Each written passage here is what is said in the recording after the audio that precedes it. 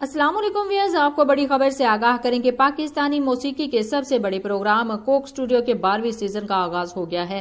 اس میں ابرار الحق کی شرکت اور ابرار الحق کے گانے نے کتنی مقبولیت حاصل کی ہے، یہ ساری تفصیلات آپ کے سامنے رکھیں گے، لیکن اس سے پہلے آپ سے ریکویسٹ ہے کہ ہمارے اس چینل کو سبسکرائب کر دے تاکہ ہماری نئی آنے والی تمام انفارمیٹو ویڈیوز سب سے پہلے پہنچے آپ کے پاس۔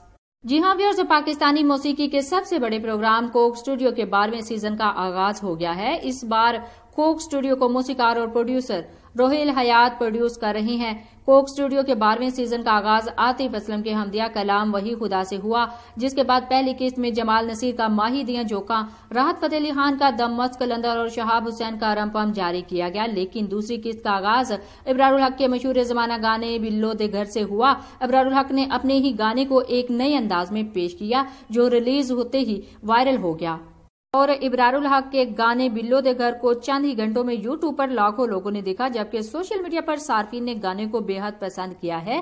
کوک سٹوڈیو کے سیزن بارہ میں اس بار عاطف اسلم، راحت فتح علی خان، حدیقہ کیانی، ابرار الحق، آئمہ بیگ شجا حیدر، علی سیٹی فرید ایاز افریحہ پرویز، کاشف دین، حمزہ رفیق قرات العین بلوچ، ریچل سہر علی بگا سنم ماروی، شہاب حسین، عمیر جسوال اور زین بنگے جیسے گلوکار پرفارم کرتے نظر آئیں گے۔